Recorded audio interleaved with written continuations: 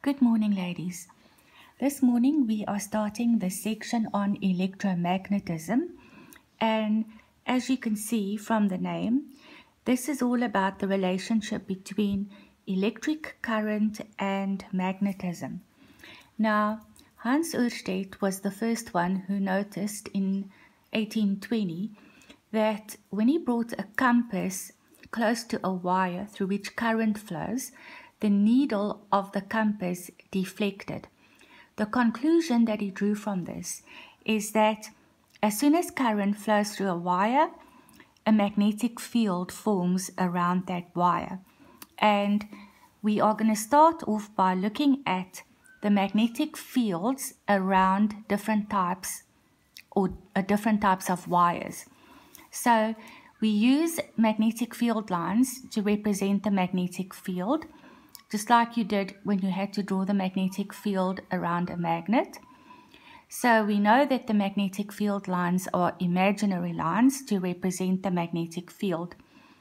The shape of the different magnetic fields you have to learn and magnetic field lines also have direction because the magnetic field has direction and there are rules that you have to learn that you apply to determine the direction of the magnetic field.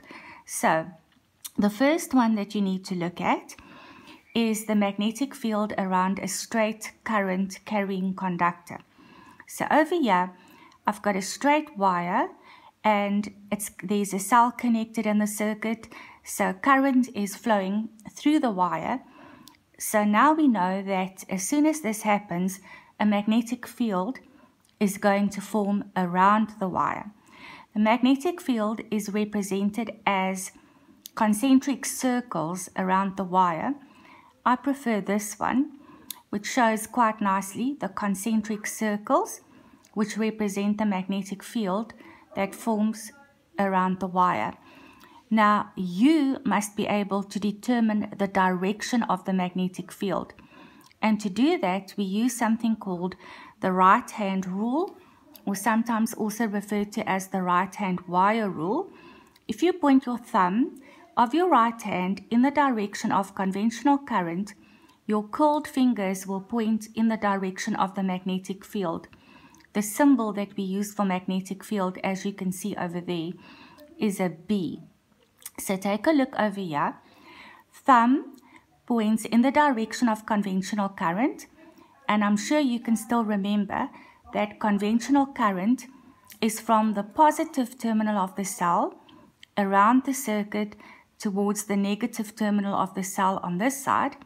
So thumb of your right hand points in the direction of conventional current and your curled fingers will give you the direction of the magnetic field. So you can see the cold fingers point in this direction. So that is how I know that that is going to be the direction of the magnetic field. Even if you look at this one, if my thumb points upwards, because that is what the conventional current is doing, oopsie, my cold fingers point in this direction and that gives me the direction of the magnetic field. Then we can also represent this as a cross section through the conductor. So if I go and I just make a cross section through this wire and I look at it from above, all I'm going to see is a circle which represents the wire. Now, if current is traveling away from me, the symbol that we use to represent that is the circle with a cross in. And if the current through the wire is traveling towards me, the symbol that we use is the circle with another little circle in it. And the easy way to remember this is to think about a dot. If a dot comes flying towards you, you see the sharp end, you see the round part. And if it flies away from you, you see the feathers at the end, which is represented by that cross over there. So, over here, this represents the wire, a cross section through the wire and the current here is flowing away from me. So if my thumb points away from me into the paper, my cold fingers will do that. And that is how I know that that is going to be the direction of the magnetic field. And on this side, the circle shows me that the current is flowing towards me. So if the current is flowing towards me, my thumb is pointing up, curled fingers will do that, and that is how I know that this is going to be the direction of the magnetic field. The second one that you need to know, so all of that applies to a straight current carrying conductor. The second one is a current carrying loop with a single turn. So you can see over here, now I've got a loop. So current is flowing up there, it's flowing around and it's flowing in there because we're still using conventional current, we always do. Now on the piece of paper, you can see the pattern of the magnetic field. So this is what I meant when I said that is what you learn so that you can draw that.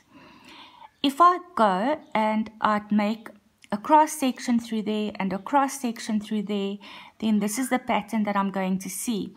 So yeah, the current is coming towards me, it's flowing around and it's flowing into the paper over there. So if we have to describe the magnetic field, we can say that the magnetic field lines outside the coil are almost circular. The magnetic field lines in the center, so over here, are almost straight. And how do I know in which direction the magnetic field is going to be? Once again, I use the right hand rule for the direction.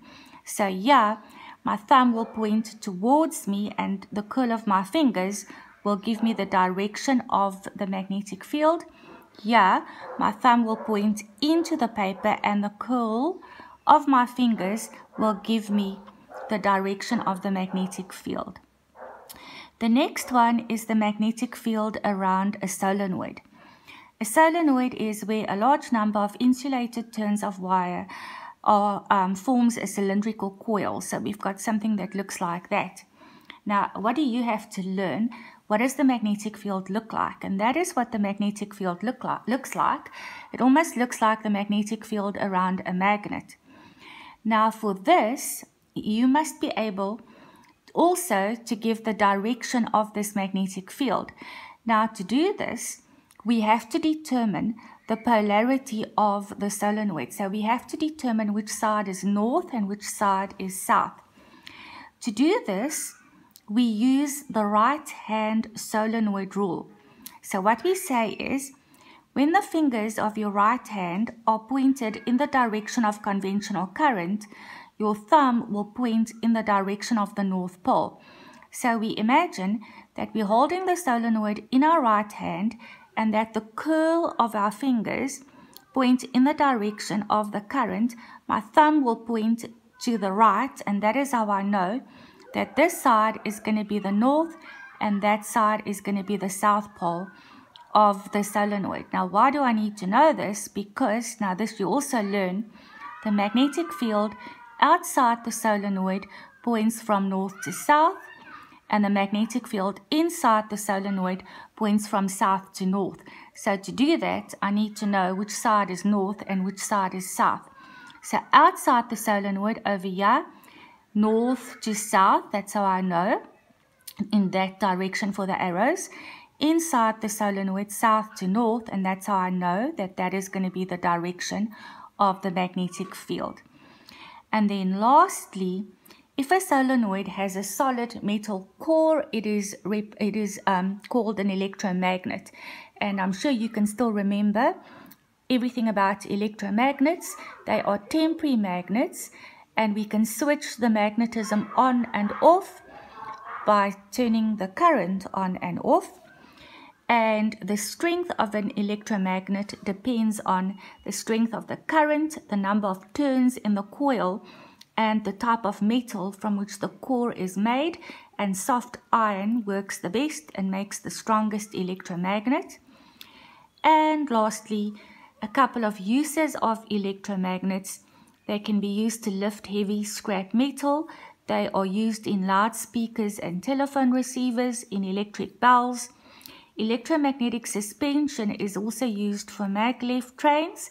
So that's where they use so-called magnetic levitation and if, if you are interested you can go look that up in a little bit more detail not for exam purposes though. And lastly electromagnets are also used in computer hard drives. And that is all for this lesson. Thank you ladies.